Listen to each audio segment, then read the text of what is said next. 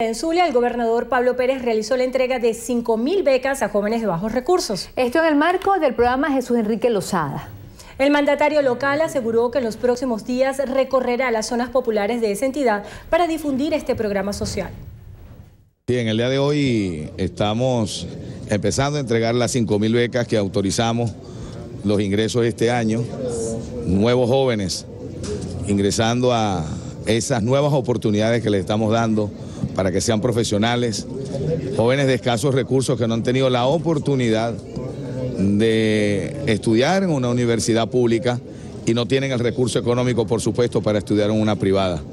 Asegurando el futuro, como le venimos haciendo en el Zulia, estamos haciendo esa nueva oportunidad. Hoy a 5.000 nuevos jóvenes, estamos empezando a entregar unas zonas de Maracaibo.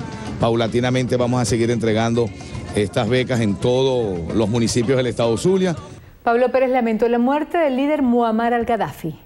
Lamentamos mucho la forma como cayó, pero así es la vida. Y tenemos que el pueblo libio se enmarque en la ruta de un gobierno democrático, que por sobre todas las cosas la democracia es fundamental como un sistema de gobierno incluyente, un sistema de gobierno de respeto, un sistema de gobierno donde todos nos entendamos y donde todos nos respetemos.